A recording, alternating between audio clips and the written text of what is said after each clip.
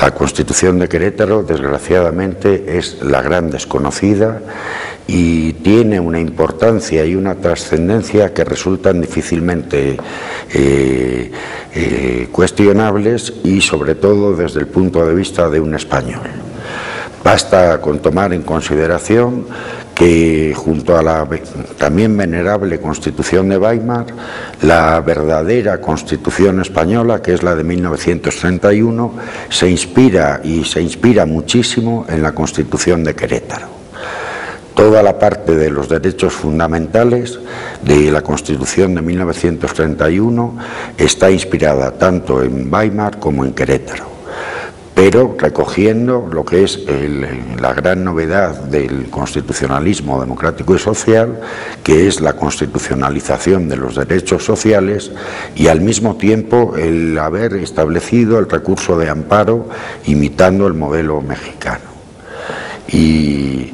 en ese sentido, yo creo que deberíamos estudiar muchísimo más la importancia que tiene la Constitución mexicana de 1917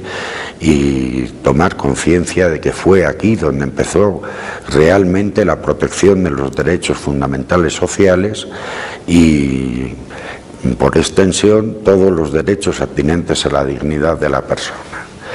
¿Y acaso por las circunstancias ajenas a México, sea este el momento más oportuno para reivindicar la vigencia de la Constitución. La Constitución, aparte de todo lo que ya he dicho, la mexicana contiene una cláusula que recoge perfectamente el pensamiento democrático de la primera eh, ventena del siglo XX, que es el reconocimiento del derecho internacional como derecho de la paz. La cláusula de que México respeta a todos los estados y que no, se no interfiere en ninguno y que quiere estar en paz con todos los estados. Desgraciadamente, todos sabemos que en la actualidad, en un país que no vamos a nombrar, pero que está por encima de México, ha salido un señor que mm, viola continuamente los derechos de todos los, de, todos los, de todos los humanos, pero de una manera muy especial de todos los iberoamericanos.